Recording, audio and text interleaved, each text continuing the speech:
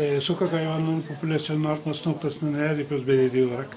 Ekstra bir çalışmamız var mı? Şöyle, e, biliyorsunuz barınağımız bölgenin tek barınaklarından Evet. bir tanesi. E, diğer ilçelerde barınak e, yok. Mevcut o barınağın iyileştirilmesiyle ilgili etrafındaki 25 dönümlük e, araziyi komple şeylerle çevirdik. Perde duvarlarla çevirdik. Orada bir yaşam alanı 25 oluşturacağız. dönümün tamamını oraya Tamamını ayırdınız. perde duvarlarla beraber, barınakla beraber çevirdik.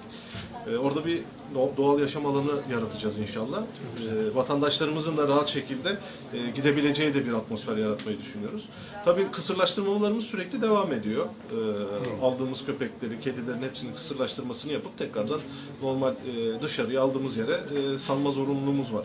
Kanunen barınakta tutamıyoruz. Popülasyon artıyor mu durdu mu efendim? Popülasyon şu anda şöyle bandımada popülasyon artıyor fakat diğer çevre ilçelerden Nereden bizim burada barınağımız, bakımımız, e, kısırlaştırmamız, hayvan tedavimiz olduğu için diğer çevre ilçelerden çok bizim bu bölgeye e, bırakılıyor.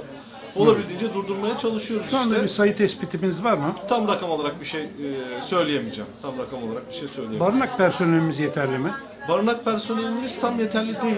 Ee, normal e, tıbbi manada şey açısından, doktor açısından, veteriner açısından birazcık daha e, arttırmamız gerekiyor. Çünkü bandırma büyüyor.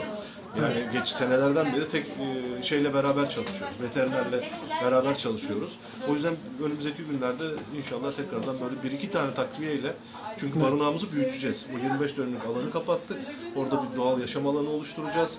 E, hayvanları kendi cinslerine, büyüklüklerine, küçüklüklerine göre ayıracağız. İnsanların da böyle gizip gelebileceği şekilde güzel bir barınak e, alanı yaratmaya çalışıyoruz. E, tabii ki oraya da personel açısından da daha katkı sağlayacak, e, hizmet edecek arkadaşlara da ihtiyaç duyacağız. E, tabii burada bizim hayvan sevenlerle ilgili önümüzdeki günlerde yapıla, geldiler ziyaretimize yapılabilecek bir protokollerimiz falan olur.